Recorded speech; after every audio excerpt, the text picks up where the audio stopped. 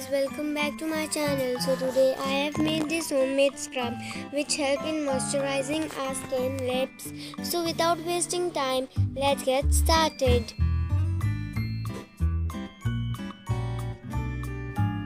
coffee sugar और rice flour coconut oil या फिर आप ले सकते हो बादाम ऑयल और यहाँ पे मैंने टू टीस्पून शुगर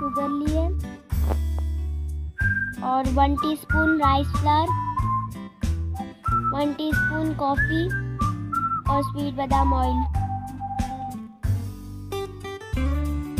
और यहाँ पर मैंने थोड़ा सा कोकोनट ऑयल भी डाल दी है। और अब मैं उसे अच्छे से मिक्स करूँगी। तो मैंने यहाँ पे मिक्स कर चुका है। मैं कोई एक दूँगी एयर टाइट कंटेनर होना चाहिए। और ये मैंने फिल कर दी। अब बारी है, मैं इसे ट्राई करके दिखाती हूँ।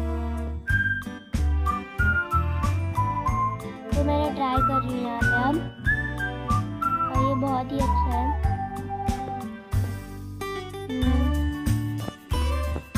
और आप इसे अपने body scrub lip scrub face scrub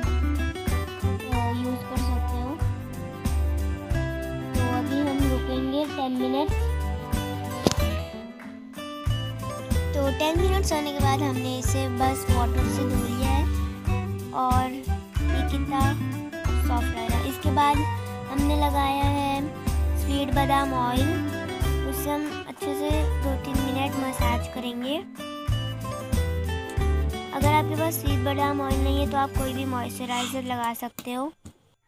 तो ये हमारा final look and Please like, share and subscribe to my channel. Bye bye.